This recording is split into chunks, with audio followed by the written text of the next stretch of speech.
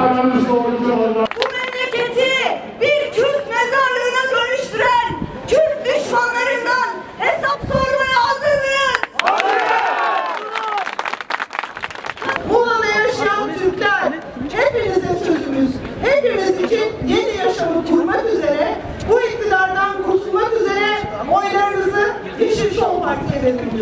Bu iktidarı göndermek hedefimiz ama düzeni değiştirmenin güvencesi de bizleriz.